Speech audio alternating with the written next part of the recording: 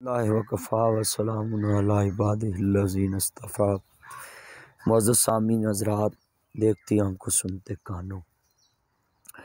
ہر انسان کو ماہ رمضان نہیں، بلکہ اکثر قبروں کو جانا چاہیے، قبروں کی زیارت کرنی چاہیے۔ انسان کو اپنی موت یاد آتی ہے، اپنے پیارے یاد آتے ہیں۔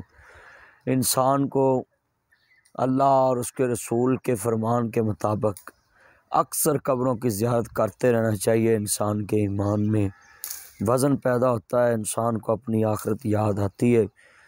اسی طرح یہ میرے خالو تھے، بڑا پیار کرتے تھے میرے سے۔ تو دیکھ لیں، ہم بھی انشاءاللہ ان کی قبر پہ آتے ہیں۔ اصل محبت تو یہی ہے کہ انسان کے جانے کے بعد اس کو یاد رکھا جائے۔ سہ سہ جوڑ سنگت دے ویکھے، آخر وتھاں پئیاں۔ جنہ باجوں چٹنی سی لنگدا، شکلاں یاد نہ رہیاں۔ تو ناظرین، جتنے میرے چاہنے والے ان کو پیغام ہے۔ خصوصی نبی کریم صلی اللہ علیہ وسلم بقی کے قبرستان میں جاتے ہوتے تھے۔ کبھی کبھی رات کو اٹھ کے چلے جاتے ہوتے تھے۔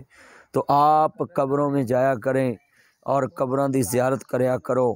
دن رات انسان دنیا چ کھبیا رہندا ہے۔ ہر انسان نو چاہیدا ہے۔ ہر دوست نو چاہیدا ہے کہ اپنے پیاریاں دیاں قبراں تے جاؤ۔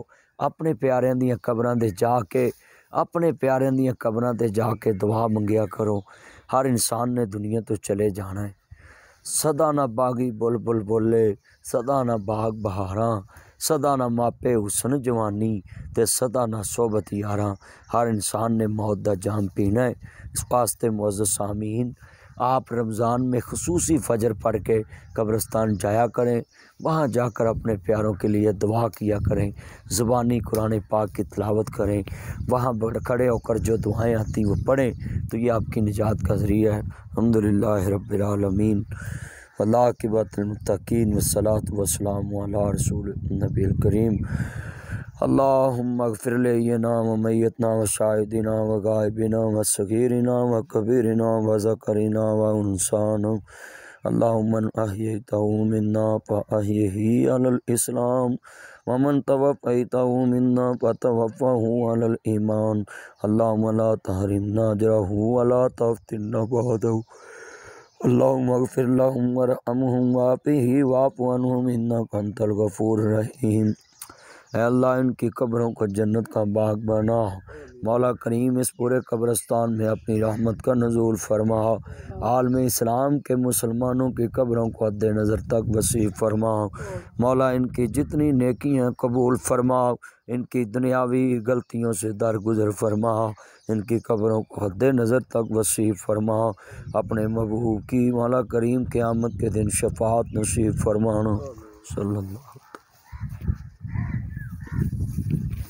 الحمد للہ رب العالمین واللہ کی بات المتقین والصلاة والسلام علی رسول النبی الکریم۔ اللہم ربنا آتنا فی الدنیا حسنتم وفی الاخرت حسنتم وقنا عذاب۔ وقنا عذاب القبر وقنا عذاب العشر وقنا عذاب۔ حسبون اللہ نعم الوکیل، نعم المولا و نعم النصیر۔ ربنا آتنا فی الدنیا حسنتم وفی الاخرت حسنتم وقنا عذاب حسبون اللہ نعم الوکیل، نعم المولا اللہم اغفر لہم ورحمہم وافہی وافو عنہم، انکا انت الغفور الرحیم۔ اللہ اس مرد کلندر دی قبر نور نہ منور فرما۔ اللہ اس انسان نے پوری دنیا تے تیری توحید دا ٹینکا بجایا عالم اسلام تک، پوری دنیا تک، تیرے دین دی پہچان کرائی، تیری پہچان کرائی۔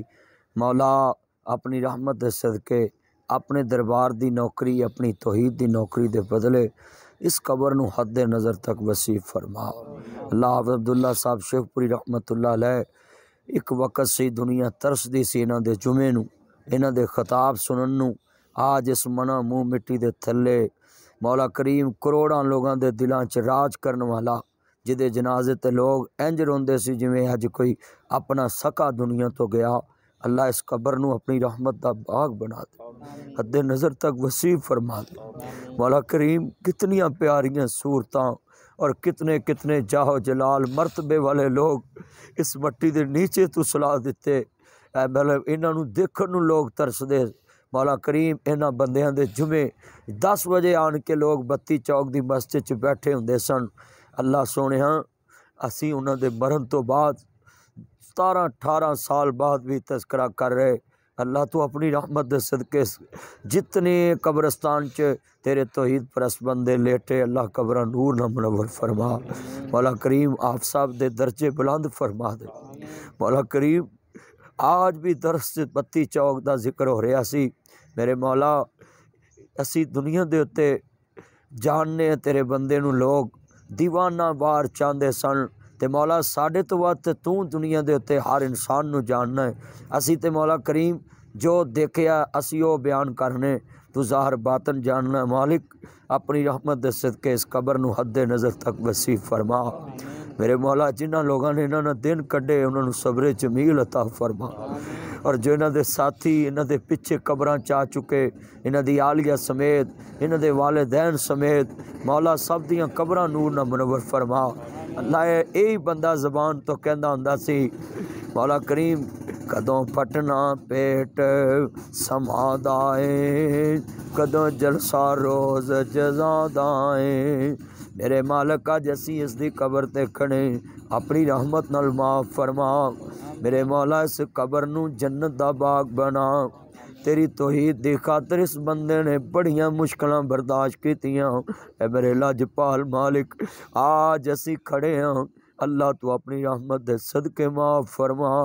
تے مولا کریم اس قبر نو حد نظر تک وسیع فرما۔ مولا کریم بتی چوک دی عظیم مسجد نو حافظ صاحب دی نجات دا ذریعہ بنا۔ تے اللہ ہزاراں نہیں، لکھاں لوگ حافظ عبداللہ صاحب دیاں تقریراں سن کے راہ ہدایت تے آئے۔ اللہ اس مرد کلندر دی قبر نو منور فرما۔ اے میرے لاجپال مالک اس دن اسی بھی انہاں قبراں چا جانا ہے مولا کریم صدیاں گزر جانیاں نے میرے مالک تیرے بندیاں دے نام نہیں مٹ دے جڑے تیرے نام نو بلند کر دے نے اللہ اس قبر نو قیامت تک مولا اپنی رحمت نہ آباد رکھی تے مولا اس قبر دے تھلے سون والے نو اپنے عرش دے سائے تھلے جگہ دے وی اے میرے لاجپال مالک بہت مہمان نواز سن اللہ اس بندے دی وجہ تو میں بھی تیرے دین دے قریب آیا ہوں۔ اے میرے لاجپال مالک، آج ہزاراں لوگ میرے درس چ بیٹھے ہوں اللہ بستیاں دیاں بستیاں چ میں جا رہے ہیں اللہ اس بندے واسطے صدقہ جاریہ بنائی۔ اللہ دنیا دیکھ دیے حافظ عبداللہ دے نام نو پر اسے قبرستان چاہ کے قبر لبنی پہندی۔ اے میرے مالک ایک کروڑاں دلان دی جان کروڑاں دلان دی محبت تیرے کول امانت پہنچ چکی اس مٹی دے نیچے اے ٹیر مٹی دے او چہرے نے اے دے تھلے وس دے کیڑے نے کچھ تیرے نے کچھ میرے نے اے اجڑیاں دا ڈیرائیں آئی او سنجے محل تے ماڑیاں چھڈنے نی چنڈے وچ قبراں چا گڈنے نی اے بندہ اپنی زبان تو اے شعر پڑھ دے سی اج مولا خود اس مٹی دی ٹیری تھلے۔ اے میرے مالک، تیری توحید واسطے۔ بڑیاں مشکلاں دیکھیاں۔ اللہ، تو اج اس دی قبر نو جنت دا باغ بنا۔ اللہ کریم، اپنی رحمت دے نال۔ حافظ عبد الباسط شیخ پوری صاحب، انہاں دے لائے ہوئے پودے نو پانی دے رہے نے۔ بتی چوک دی مسجد نو آباد فرما تے مولا کریم عالم اسلام دیاں مسجداں آباد فرما صلی اللہ علیہ